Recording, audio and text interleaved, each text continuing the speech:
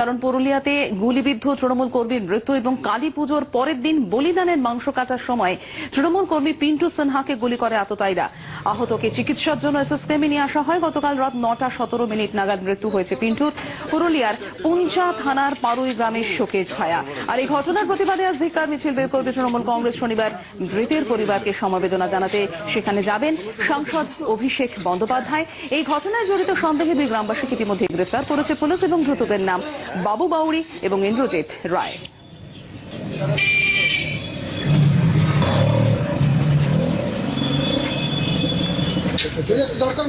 একটু একটু একটু একটু দাঁড়া দাঁড়া দাঁড়া।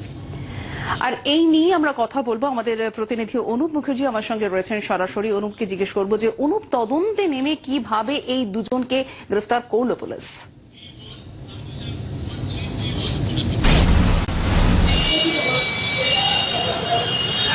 দেখো পুলিশ তদন্তে নেমেছে এবং তদন্তে নামার পর থেকে, ঘটনার পর থেকে আমরা দেখেছি যে পুলিশ গ্রামের অনেককে জিজ্ঞাসাবাদ করেছে এবং জিজ্ঞাসাবাদ করার পর অবশেষে গতকাল গভীর রাতে দুজনকে সেই গ্রাম থেকে ধরেছে পাড়ুই গ্রাম থেকে। যাদের একজনের নাম বাবু বাউরি এবং অপরজনের নাম ইন্দ্রজিৎ রায়। পুলিশ সূত্রে যেটা দাবি করা হচ্ছে, যে ধৃতেরা এই খুনের সাথে প্রত্যক্ষভাবে যুক্ত ছিল এবং শুধু এরাই নয়, এদের সাথে আরও কেউ কেউ যুক্ত থাকতে পারে বলে আশঙ্কা করা হচ্ছে। প্রাথমিকভাবে জিজ্ঞাসাবাদে তারা সে কথা স্বীকারও করেছে। আজ পুলিশ তাদের আদালতে হাজির করেছে। কিছুক্ষণের মধ্যেই তাদের নিজেদের হেফাজতে নেবে বিচারকের নির্দেশ মতো এবং তারপর জিজ্ঞাসাবাদ করে আরও নিশ্চিতভাবে জানা যাবে এই খুনের সাথে কারা কারা যুক্ত এবং খুনের মোটিভ কি ছিল, কেন খুন করা হয়েছে। নিছক কি ব্যক্তিগত শত্রুতা নাকি এর পেছনে কোনো রাজনৈতিক ষড়যন্ত্র? এই সবই খতিয়ে দেখবে পুলিশ এবং পুলিশের যেটা দাবি, নিশ্চিতভাবে পুলিশ এই খুনের কিনারা করতে পারবে। অনুপ আর একটা বিষয় একটু জানতে চাইব তোমার কাছে, যে ধৃতদের বিরুদ্ধে কোন কোন ধারাতে মামলা হয়েছে?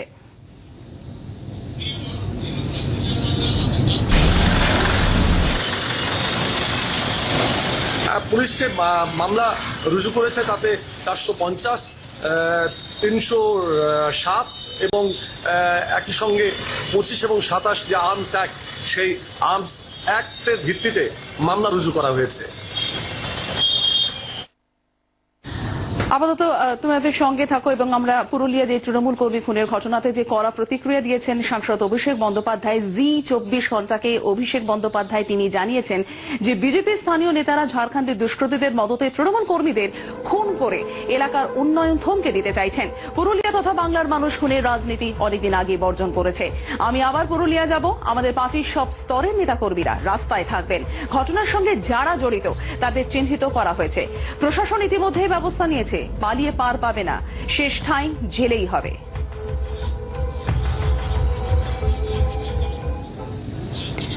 এবং পুরুলিয়ার তৃণমূল কর্মী খুনের সঙ্গে বিজেপির যে কোনো যোগ নেই গোষ্ঠীদ্বন্দ্বের জেরেই খুন হয়েছেন পিন্টু সিনহাই দাবি করেছেন বিজেপি নেতা সায়ন্তন বসু। শোনাবো তার বক্তব্য।